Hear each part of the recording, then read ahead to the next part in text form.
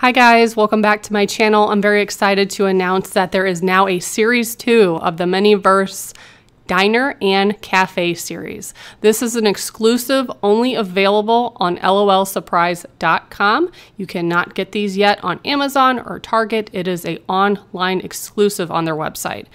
They have the Diner Series 2, which is $9.99. They have the Cafe Series 2, which is $6.99. They also have a Make It Mini food multi-pack. There are multiple different things to build in there. You can see what they are on the outside, and then it comes with like a mystery one that's $29.99. And then they also have a Miniverse Make It Mini kitchen pretty cute. And that comes with a couple builds as well. And that one is $39.99. Now, what's awesome about this, not only is it super early before stores, if you create an account, which is free, they do have a rewards program. So you can earn money by purchasing things, follow them on social media, and then you can get certain discounts.